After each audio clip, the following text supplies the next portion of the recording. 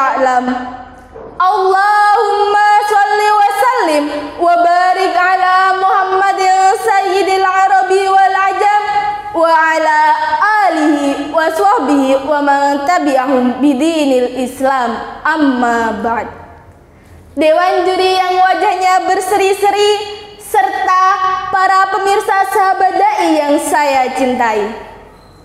Indonesia adalah negara subur yang terapis di dataran khatulistiwa.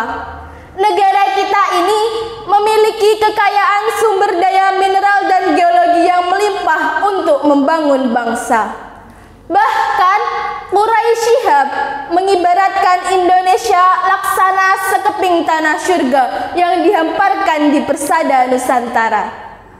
Penduduk Indonesia yang sudah melebihi 254 juta jiwa merupakan potensi sumber daya manusia yang sangat strategis untuk membangun bangsa menuju masyarakat yang adil, makmur, dan sejahtera. Kondisi ini dapat diwujudkan apabila dilakukan dengan etos kerja yang tinggi. No process without sweat. Tidak ada keberhasilan tanpa keringat. Namun, secara kasat mata, kita melihat bangsa Indonesia masih jauh mundur. Kehidupan rakyatnya belum makmur, pembangunan bangsa Indonesia masih tersungkur. Perekonomian, sosial, budaya, politik, dan sains masih dicengkram oleh bangsa lain. Kita terkesan menjadi budak mereka. Inilah kondisi real bangsa kita saat ini. Maka atas dasar inilah izinkan saya Arina Hidayatul Mustaghfirah untuk menyampaikan sedikit tausiah yang berjudul Membangun Etos Kerja dalam Memajukan Bangsa Indonesia. Dengan landasan firman Allah Quran Surah Al-Qasas ayat 77. A'udzu billahi minasyaitonir rajim. Bismillahirrahmanirrahim. Wabtaghi fima atakallahu daral akhirah atakallahu daral akhirata wala tansa nasibaka minad dunya dan carilah pahala negeri akhirat dengan apa yang telah dianugerahkan Allah kepadamu. Tetapi janganlah kamu melupakan bagianmu di dunia. Ayat tadi mengajarkan kepada kita agar kita dapat bersaing dengan sumber daya manusia dan etos kerja yang tinggi. Jumlah penduduk yang besar apabila tidak diikuti dengan kualitas yang memadai hanyalah akan menjadi beban pembangunan. Untuk membangun bangsa, kualitas sumber daya manusia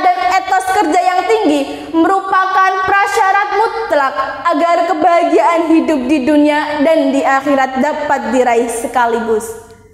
Rasulullah telah memberikan kita motivasi dalam upaya membangun kualitas sumber daya manusia dan etos kerja yang tinggi. Beliau bersabda, "Kerjakanlah seperti kerjanya orang yang mengira akan hidup selamanya, tetapi waspadalah seperti orang yang mengira akan mati besok."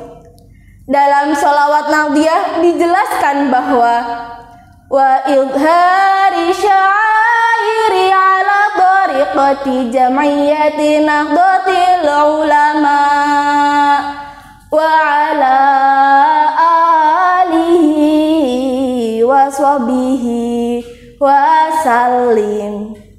Hadirin rahimakumullah Rasulullah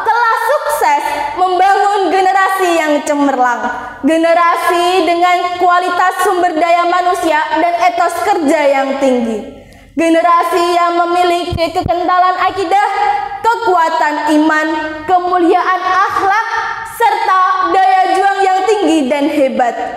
Seperti halnya sahabat Abdurrahman bin Auf Abdul As bin Robi, dan para sahabat lainnya. Hendaknya kita jadikan figur dalam bekerja dan menghiasi diri dengan kinerja yang terbaik agar tertanam dalam jiwa kita untuk bekerja dan bekerja demi bangsa. Indonesia negeriku,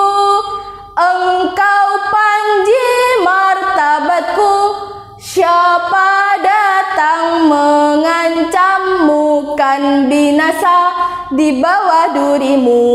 Siapa datang mengancammu kan binasa di bawah durimu. Wahai para pemuda, mari kita bangkit bersama-sama mengisi masa muda kita dengan segudang prestasi. Ingat, insan yang pemalas tidak akan pernah merasakan manisnya madu, tetapi hanya akan pahitnya empedu. Jalan-jalan ke Pulau Jawa, jangan lupa membeli kebaya. Sekian dari saya, mohon maaf jika ada salah kata.